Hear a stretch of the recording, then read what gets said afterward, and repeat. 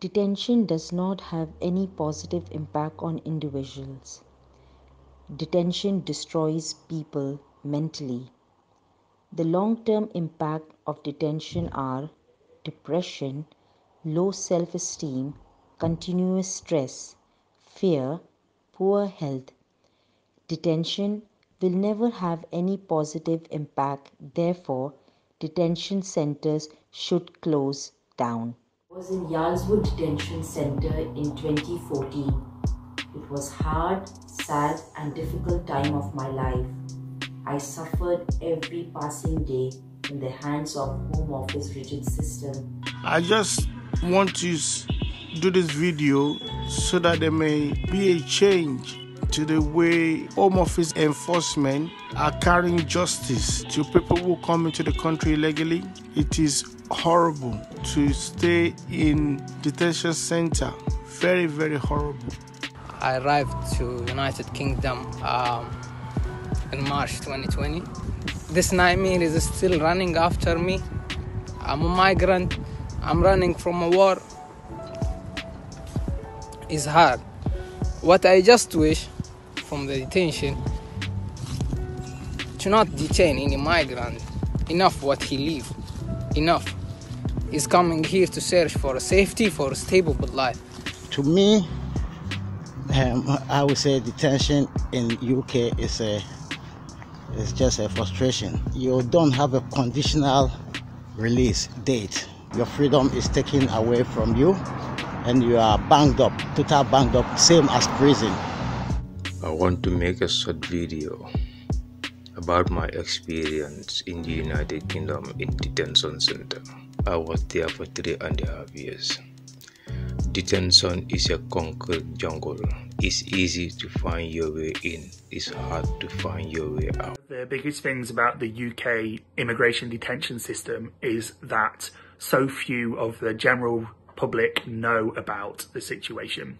If you've ever been to Gatwick Airport and perhaps taken a plane when you're going on holiday from Gatwick Airport, you've probably seen the detention centres without even realising it. I visited several different people in detention and their stories of how they came to be in detention are all unique and individual, just like the people that we visit. There's not just one way and one route into detention. There's many different routes. For eight years, I visited Brookhouse Detention Centre regularly. Each week, I'd spend an hour or so with one of the 400 men detained there. I had little to offer, but I had time and a listening ear. I did lots of listening and I heard a lot of stories from people of many different backgrounds and circumstances. Sometimes on an initial visit, I'd be told about the first day of detention Men would have been brought from a port, a prison, a police station, and others from their own beds at dawn. Some understood why they were being detained, and others had absolutely no idea. Time and again, I heard about their bewilderment and disorientation on arrival. But at that point, many were expectant and hopeful. They would be bound to have a just hearing in England. Station center is like a prison. Keeping someone in detention make situation worse, difficult. Even though some people try to harm themselves because they don't know when they will get released from detention. Detention center is basically is just place for punishment for the asylum seekers. It's a room and uh, it's a toilet inside and uh, even the bed is made from the concrete. And uh, your toilet inside and your bed is also from the concrete. And even you're not allowed to take your shoes inside. And it's the floor is the very very cold also. And uh, and you have is the room is basically doesn't have any window. And uh, also have light on the top is light is just like 24 hour.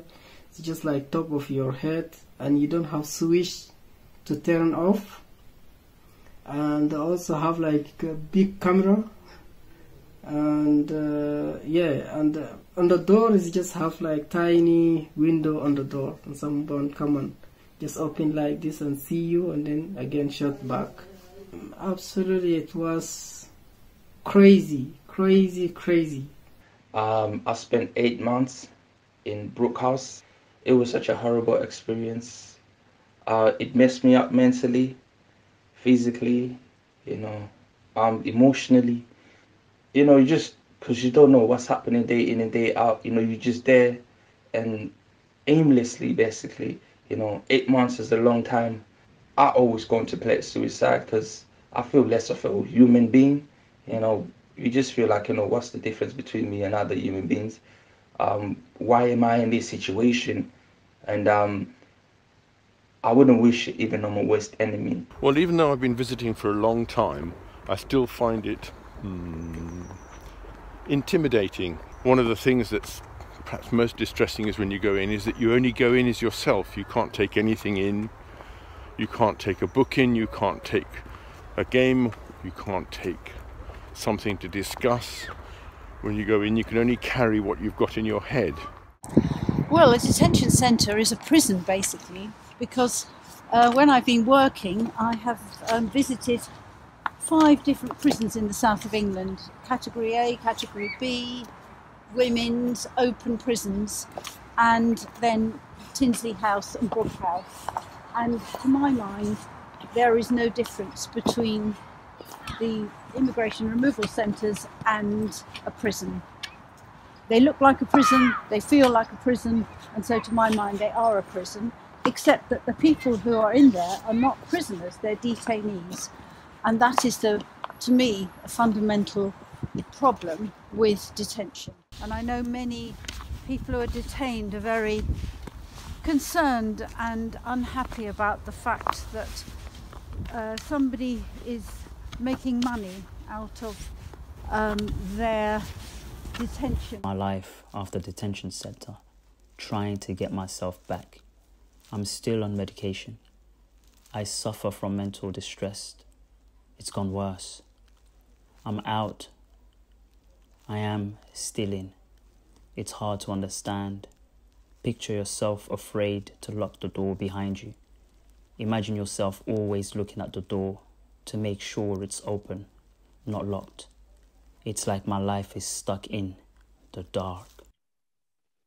One, I lost my hope and I don't know what I am again. Because if because I apply to work and they have arrested me illegally, I not even work, and I've sent I have been sentenced 14 months, finished the 14 months, come again for 17 more. You can see the psychological, the trauma, the torture of the mind.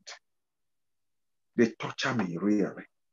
I'm not myself again. How I think, how sharp I was, how intelligent I am, it have effect in me. Now, I cannot even remember some things. I can forget easily. I can hear voices even because I ask myself, even if when I'm running from people to kill me and I've come here, they have tortured me physically, mentally, and even spiritually.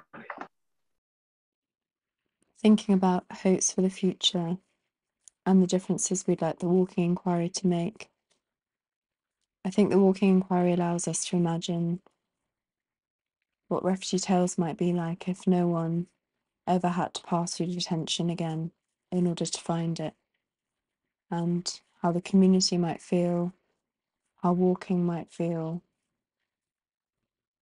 how storytelling might feel, how it will feel when no one has to share their story in order to advocate for change or for fundamental human rights, but simply to connect with someone else whilst walking together in a future without detention. That's what I hope for.